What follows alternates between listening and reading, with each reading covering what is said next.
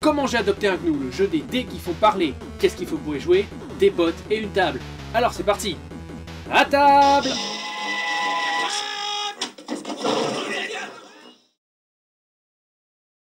Raconter des histoires est si simple et si gratifiant pour quiconque a un tant soit peu d'imagination. Et pourtant, de moins en moins de monde ose laisser parler sa créativité. Ou alors, c'est dans des cercles des poètes disparus auxquels j'ai pas été invité. Fort heureusement, les jeux de société récents essaient de remettre au goût du jour l'imagination et l'art de raconter des histoires. Certains sont assez directifs, comme par exemple Petit meurtre entre amis, et d'autres vous laissent plus de liberté. Comment j'ai adopté un GNU est l'un d'entre eux? Le jeu contient 9 dés, 2 bleus munis de chiffres et 7 munis d'inscriptions d'une couleur variant du jaune au noir. En plus de ça, on retrouve 4 cartes contenant une liste de sujets et la notice. Pour jouer, il faut avant tout choisir une des 4 cartes de sujet, puis lancer les dés bleu clair chiffrés. Le résultat des dés vous offre deux sujets. Par exemple, pour la carte de sujet A, lancer un 4 et un 2 vous offre le sujet 24. Il va y avoir une grande exposition de mes œuvres. Et le 42, l'histoire du poisson qui n'aimait pas l'eau.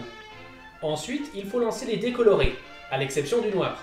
D'ailleurs, puisque noir n'est pas une couleur, ma phrase précédente était un pléonasme.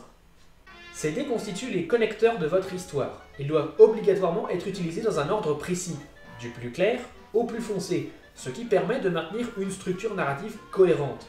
Si ces règles ne vous paraissent pas très claires, deux exemples vous sont donnés. Le premier est sur les côtés de la boîte, et le deuxième est à la fin du manuel, en guise de résumé du jeu lui-même, ce qui est à la fois du bon design et un petit rappel de l'ambiance légère prévue par les créateurs du jeu. Une fois que tous les décolorés sont lancés, vous pouvez commencer à raconter votre histoire. Tu vas pas me croire, mais hier, j'ai eu un entretien qui a changé ma vie. C'était une journée un petit peu pluvieuse.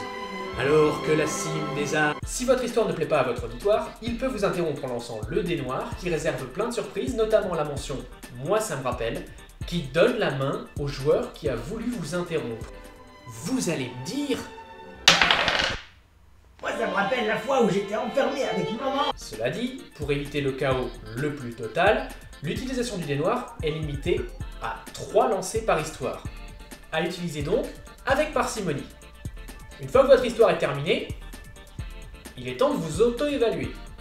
Pour cela, lancez un des dés bleus chiffrés. 2.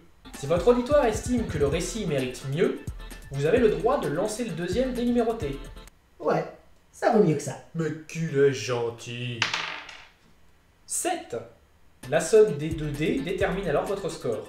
Si vous pensez que ce système est injuste, il l'est, et ça n'a pas échappé aux créateurs du jeu, qui le font remarquer dans la notice en disant que ce système est injuste parce que la vie est injuste et ce jeu, c'est la vie.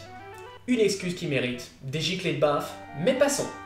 Comment j'ai adopté un GNU est un jeu très appréciable. Le système des décolorés est à la fois rigide et souple, en ceci que la structure suit le schéma narratif standard, éléments perturbateurs, résolution, conclusion, mais selon le lancer du dé, l'élément perturbateur arrivera tôt ou tard dans votre histoire, ce qui est un grand plus. Pour ce qui est des sujets, non seulement la liste est longue avec des sujets vagues ou loufoques tels que j'ai jamais pu retirer mes skis, j'ai pas l'air comme ça mais j'ai attaqué une banque, ou encore il va pleuvoir. Et le système est souple. En effet, si vous lancez un double, c'est votre auditoire qui se chargera de vous imposer un sujet. Bon, j'ai eu un double, euh, bah, j'attends vos propositions de sujets. J'ai un doctorat en montage de maquettes. Au secours On m'a volé ma casquette Euh, bah, je sais pas, euh, je fais caca Seule exception, lancer un double 6 vous octroiera immédiatement le sujet Comment j'ai adopté un GNU. Mais le jeu n'est pas sans ses inconvénients, et j'en compte trois, deux petits et un gros. Le premier petit, c'est le système d'évaluation. On l'a déjà dit, il est injuste. Même si je peux comprendre pourquoi. En effet, un système plus juste pourrait forcer les joueurs à mentir sur leur appréciation dans le but de refuser des points. Or, comment j'ai adopté GNU se joue pour le fun. Du coup, ne serait-il pas plus approprié de se débarrasser du système d'évaluation? Le deuxième petit problème, c'est le des noirs. Le livret de règles reste très élusif sur son rôle.